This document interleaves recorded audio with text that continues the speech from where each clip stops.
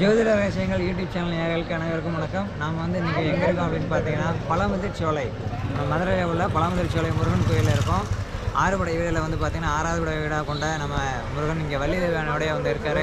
இந்த வள்ளி தெய்வானோட உள்ள முருகனை வந்து வழிபடுற மூலியமாக நிறைய நல்ல விஷயங்கள் நன்மைகள் இருக்குது அதில் இப்போ ஒன் பை ஒன்றா நான் சொல்கிறேன் அதுபோல் வந்து பார்த்தீங்கன்னா இங்கே ஆதிவேல் இந்த வேல் பரிகாரங்கள் இருக்குது வேல் வச்சு அவங்க வழிபாடு பண்ணுறாங்க அந்த வேலை வந்து வழிபாடு பண்ணுறது மூலியமாக நிறைய நன்மைகள் இருக்குது அதை சொல்கிறேன் இப்போ வந்து பார்த்தீங்கன்னா பழமுதிர் சோலை அப்படின்னாலே பழம் அப்படின்னாலே சுக்கரன் சொல்லுவோம்.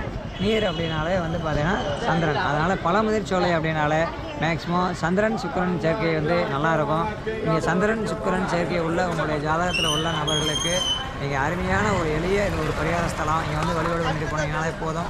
எந்த மாதிரியான வழிபாடுகள் பண்ணலாம் அப்படின்னு பார்த்தீங்கன்னா மேக்ஸிமம் பழத்தால் அபிஷேகங்கள் அல்லது பன்னீரால் அபிஷேகங்கள் பண்ணலாம். ரொம்ப சூப்பராக இருக்கும். அதுக்கடுத்து திருமணமே ஆகலை. நீண்ட நாளாக திருமணம் ஆகலை அப்படிங்கிறவங்க நீங்கள் வந்து வள்ளி தீவானையோட உள்ள முருகனுக்கு சாதாரணமாக ஒரு நெய் தீபம் போட்டு வழிபாடு பண்ணிட்டு போனீங்கன்னா போதும்.